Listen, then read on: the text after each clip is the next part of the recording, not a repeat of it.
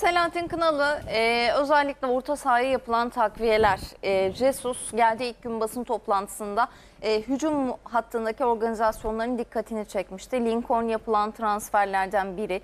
E, bu arada Bruma'nın gelişi Bruno'nun e, gelişine engel değil. Yine e, sol tarafa da Bruno takviyesi bekleniyor ki bu konuda da yine araştırmalarımız sürüyor. E, bir sonraki açıklanacak transfer bu olabilir. Ama orta sahayı yeniden şekillendirme amacı olduğunu görüyoruz Jesus'un. Şimdi önce geçen yıl bugün kaybettiğimiz Engin Kalafatoğlu abimiz var. Çok dünyaya çok değer katan insanlardan biriydi. Kültürel bakışıyla, e, insan sevgisiyle, onu sevgiyle, saygıyla bir anayım öyle başlayayım. Unutmak, unutursam üzülürüm. Engin abiye selam olsun. Şimdi Fenerbahçe taraftarını heyecanlandıran transferler olmadı bunlar. E, bu şeyle de karşılaştırılabilir. Mesela geçen sene e, Crespo geldiğinde de, Kim Mice geldiğinde de kim bunlar diyen çok oldu. Ama onların şöyle bir özelliği vardı. E, ilk defa geliyorlardı. Bir Türkiye ile ilgili bir deneyimleri yoktu. Şimdi gelen iki oyuncu yani imza aşamasına gelen, imza attırılan ve aşamasına gelen iki oyuncunun da geçmişlerinde bir Türkiye var ve taraftar için sürpriz e, ta- tarifini kullanamıyoruz bu transferler için. Az çok işte belli bir 20 yaş üzeri, 25 yaş üzeri her Fenerbahçe taraftarı için de e, bu oyuncularla ilgili az da olsa bir bilgi, bir hikaye var herkesin belleğinde. Ama bu şu demek değil. E, Buruma e, ya da diğer oyuncu Fenerbahçe'ye bir katkı yapmıyor. Öyle bir şey söylemek kimsenin haddi değil. E, hani Crespo'nun nasıl karşılandığını da ilk başta hepimiz biliyoruz. E, her oyuncu her teknik adamın elinde başka bir kimliğe bürünebilir. E, belli ki e, Jesus'un onayı alınarak bu transferlerde yapılmış. O halde e, kimsenin e, e, küçümsemeye ya bunlarda nereden çıktı demeye hakkı olmamalı. E, futbolcu dediğimiz, e, e, tarif ettiğimiz e, figür kendisini sahada gösterir. E, sahadaki hallerini gördükten sonra e, teknik adam doğrusu ya da yönetim yanlışıdır diye e, görüş beyan edebiliriz hepimiz ama şu anda e, ikisinin de Fenerbahçe'ye hayırlı olmasını dilemekten e, fazlası e, iyi niyet ölçülerinin dışına çıkar. E, bu romanın çok enteresan özellikleri vardı. Biliyoruz hepimiz. Tek başına maç da alabilir. 90 dakika sahada da göremeyebilirsin. Ama sonuçta Jesus gibi kendi dilini de konuşan, e, belli bir kaliteyi tutturmuş bir teknik adamın elinde bambaşka bir kimliğe de bürünebilir. Belki bu romanın pozitif yönlerini çoğaltıp negatif taraflarını eksiltecektir. E, öyle bir ihtimal söz konusu olduğunda da bu roman hangi takımda oynarsa oynasın o takıma katkı verebilecek doğuştan gelen yetenekleri var. Doğuştan gelen yeteneklerini Jesus eliyle günün ihtiyaçları doğrultusunda da e, zenginleştirebilirse büyük katkı yapabilir ama tersi de olabilir. Yani sonuçta bunlar transferlerdir. E, her zaman umduğunu alamazsın transferden. Bekleyip görmek lazım. Yani 10 hafta, 15 hafta herkese izin vermek lazım. E, Buruma'nın e, hemen Galatasaray dönemini de hatırlayacak olursak eğer e, 18 yaşındayken 13 milyon euro karşılığında e, Sporting'ten Galatasaray'a transfer olmuştu Buruma. Sarı Kırmızılılarda 85 maçta 15 gol kaydetmişti.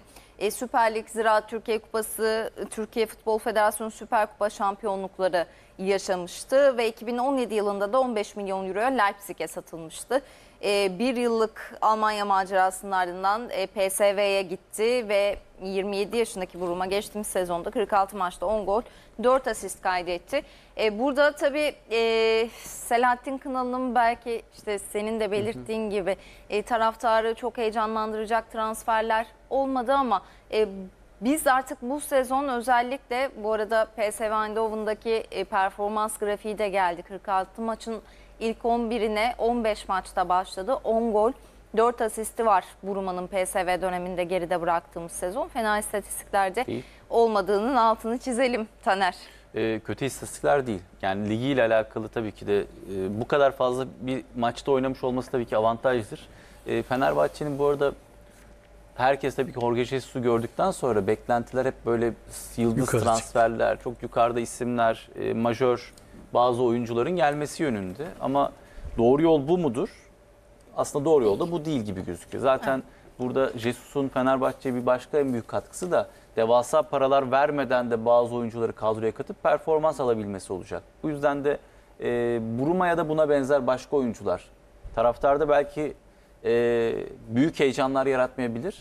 Ama heyecanı yaratacak olan şey transferin adı değil sahada yap- yaptıkları olacak. Ve ben Buruma'da da e, Lincoln'de de bu ihtimalin yüksek olduğunu düşünüyorum. İkisi de fiziken eğer hazır gelirse, hazır olurlarsa ki çok erken takıma katıldılar. Bu bence başka bir avantaj. Şimdi e, direkt topuk yaylası kampına katılacaklar. Evet. E, hocayla yaklaşık iki aylık bir çalışma dönemi geçirecekler ve sonrasında hocanın ne istediğini çok iyi bilerek sahaya çıkacaklar. Bu çok büyük bir avantaj ve Fenerbahçe yönetimi geçtiğimiz yıllara göre bu sene şunu çok doğru yapıyor. Bir şeyleri zamanında yapmayı kısmında çok Doğru. iyiler. Ee, geçtiğimiz yıl hoca ismi son güne kadar belli olmayan, hatta neredeyse işte kampları kaçıran, ligi neredeyse kaçıran bir hoca süreci. Transferlerin birçoğu geç biten bir Fenerbahçe ama bu seneye geldiğimiz zaman e, dersine çok daha erken çalışmaya başlamış bir Fenerbahçe yönetimi var. Çünkü İsmail Kartal'la yolların ayrılacağı onların zihninde belliyken anladığımız kadarıyla Fenerbahçe zaten o dönemde de işte Lincoln gibi, Buruma gibi isimlerle de temasa geçmiş ve beklenilen tek şey e, Jorge Jesus'un onayı. Ve Fenerbahçe'nin bir başka avantajı da şu, transferde görüştüğünüz oyuncunun önüne Jorge Jesus'un ismiyle gitmek çok büyük bir artı. Yani ikna etme konusunda Fenerbahçe'nin eli biraz daha güçlü. Bunu Karagümrük de yaşayacak mesela. Andre Pirlo ismiyle bir oyuncunun önüne gitmek, Volkan Demirel ismiyle gitmekten tabii ki çok daha güçlü ve bazı oyuncuları kabul ettirme konusunda onlar da çok büyük bir artı yaşayacaklar. E, aynı şey Fenerbahçe için de geçerli ve o yüzden, bu da tabii transferlerin hızlı bitmesine neden oluyor gibi duruyor.